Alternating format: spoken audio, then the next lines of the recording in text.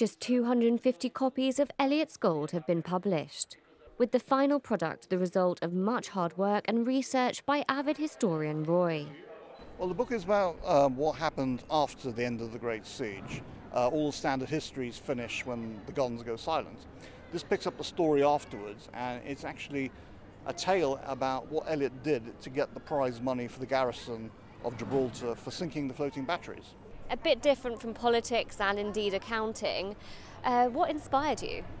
Well, I've always had a, a, love of history. I mean, when I was a kid, I used to read George Blower's books, and I always had a thirst to, to know more about Gib's history.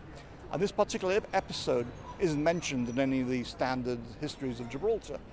Um, and I've been writing articles for the Heritage Journal and other things. And I thought, well, I'll write an article for the journal. But then the more research I did, the longer it got, and it got too long.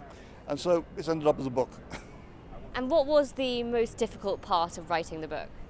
Well, actually, the most difficult part was getting together all the bits of information because they're not all in one place.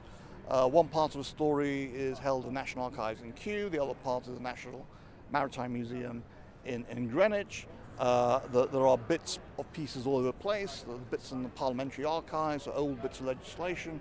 So you really got to hunt around, a bit like a jigsaw puzzle. The pieces are there, but you know where they are. Uh, and then once you get them, you can start piecing it together. So it was quite a challenge. Yeah?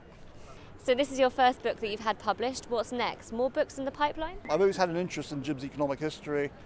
I really wanted to research the early 19th century period after the 1800s.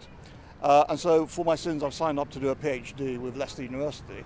Uh, it's going to take me five years, six years distance learning, uh, but I will then get the, the academic uh, uh, uh, discipline that goes into writing proper histories. Because let's face it, at the moment I'm just an amateur. So that's my ambition. Uh, it's not going to happen tomorrow, it's going to take many years, but hopefully at the end of it, if I do write another book, it'll be about Gib's economic history. Eliott's Gold is priced at £20 and can be bought at the Gibraltar Heritage Trust shop at the Piazza.